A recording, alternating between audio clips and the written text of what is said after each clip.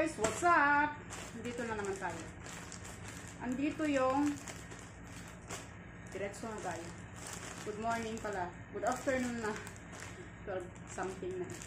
Ito ngayon yung pangalawang, ano, pangatlong package natin kanina, pero hindi ko pa in-unbox sa isang vlog ko. Nandun sa isang vlog ko. So ngayon, isa-separate natin siyang i-upload. Gagawin natin ngayon guys, i-unbox natin, i-unbox natin ito. Padala ni Ruby. Kasi ito guys, alamin natin kung ano nasa loob. Secret. Alamin natin kung ano nasa loob. May istorya kasi ito guys. Mamaya ikukwento ko sa inyo. Ikukwento ko sa inyo. Bubuksan muna natin itong padala ni Ruby. Ni ano guys, ni Ruby da Chinita. Siya yun. Yung ka group team natin. Yung ka, oo, nasa group chat natin siya. Guys, yung mga nanonood pala, kasi may kasamang ukay-ukay guys. Binili ko sa kanya. Nagtitinda kasi siya ng ukay-ukay. So, in fairness, wala akong makita. Yun, nasa loob. Ano kayang nasa loob? Daya, wala man lang nilagay na box. Yay! Ito talaga yung main. Yung main ano natin. Purpose natin kung bakit natin binili. Yan ito. Guys! Yung Yay! Japan Gold. It's nice. Super like ko ito guys. Ganito ang kwento. Ito guys yung paluwagan. Yung pa, nagpapaluwagan kasi kami sa gold. Ako yung nagaano ng paluwagan sa gold. So ang ginawa ko, bakit naggaganyan? Dapat ako yung may sahod nito. Kaso, gusto ni Chinita na ganito rin yung sahod niya. Eh, hindi ko pa makuhaan. So, binigay ko muna itong akin. Ngayon, ang problema guys, is mas mataba kasi siya sa akin. Chabita, dapat yung pangalan mo sa YouTube, hindi Chinita. Sorry. joke, joke, joke. Kasi guys, ano, medyo mataba siya. Eh, 16 inches lang ito. hindi kasya sa kanya.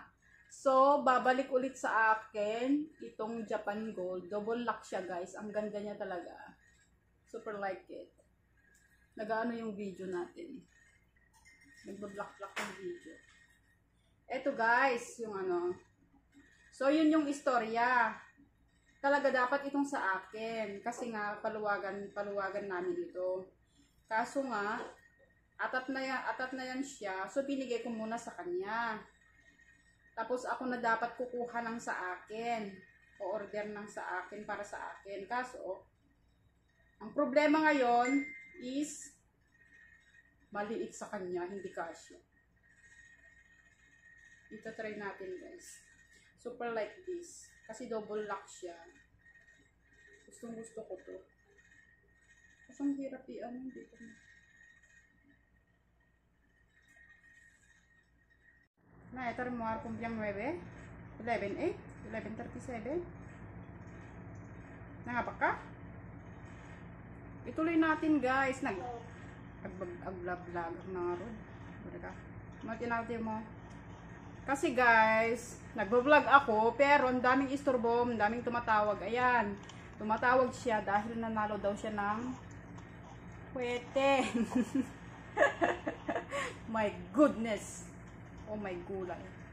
Nag-vlog na. Ano inati mo nga, Rod? Yun guys, ituloy natin. Tapusin na natin yung vlog.